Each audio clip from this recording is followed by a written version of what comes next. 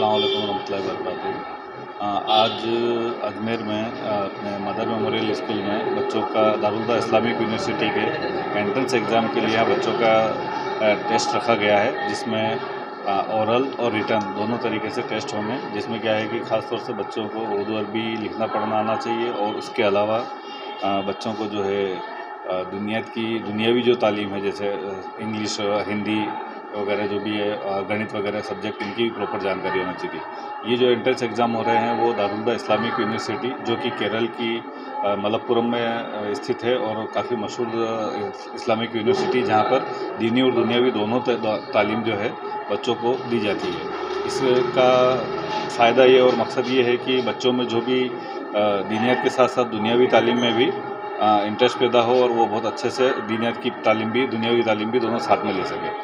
इसके बाद इसके साथ में ये है कि जो बच्चे इस एंट्रेंस एग्ज़ाम में पास होते हैं, उनको क्या है कि 12 साल का जो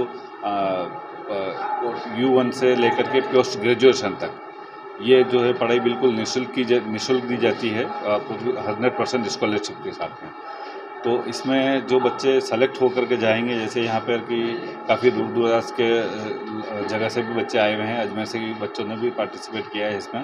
तो इस एंट्रेंस एग्ज़ाम को कंडक्ट करने के लिए हमारे यहाँ से समाज सेवी रियाज मंसूरी साहब और मदर आरिफ हुसैन साहब जो हैं, अपने मदरसा बोर्ड के जिलाध्यक्ष हैं अजमेर के उन्होंने काफ़ी मेहनत की है और यहाँ पे बच्चों का इस मदर मेमोरियल स्कूल में इस एंट्रेंस एग्ज़ाम को रखने के लिए कोशिशें की है।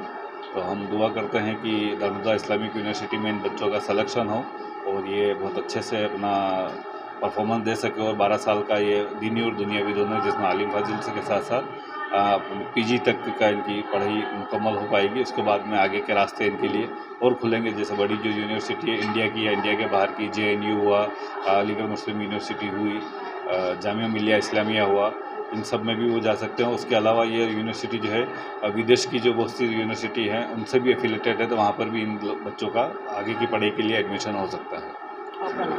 मेरा नाम मोहम्मद अनीस अब्बासी है और मैं प्रॉपर उदयपुर से हूँ। आज इकतीस मार्च को अजमेर में हुआ। कल तीस मार्च को उदयपुर में एंट्रेंस एग्ज़ाम हुआ था। वहाँ से एंट्रेंस एग्ज़ाम लेने के बाद में जो केरल से जो टीम आई हुई है उन्होंने यहाँ अजमेर में एग्ज़ाम लिया है। तो आज यहाँ इकतीस तारीख को अजमेर में हो रहा है।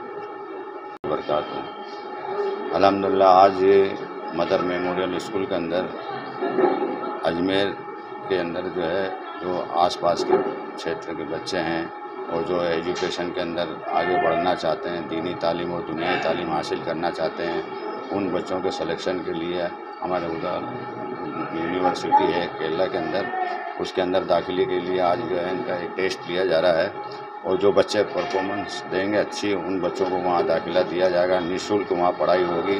उसके अंदर कॉपी, किताब, हॉस्टल वगैरह खाना पीना सब फ्री है बच्चों के लिए। और हम चाहते हैं कि आने वाले समय में बच्चे जो है एजुकेशन के अंदर रुझान पैदा उनका और बच्चे आगे बढ़े पढ़ लिख के होशियार बने और दीन का और दुनिया का नाम रोशन करें। और इसी के साथ में हम आज जो है बच्चों का एग्ज़ाम ले रहे हैं और हमारे जो है केरला से टीम भी आई है पूरी। और हमारे अजमेर के जो समाज सेवी है, आरिफ हुसैन साहब वो भी साथ में हैं और हमारे उदयपुर से आसमी साहब वो भी हैं और सब मिल के जो है इस काम को अंजाम दे रहे हैं और अल्लाह ने चाहा तो इन यहाँ से अच्छे बच्चे जाएँगे और पढ़ लिख के वहाँ शाहरुख जाएँगे। मेरे आज अहमद मंसूरी समाज से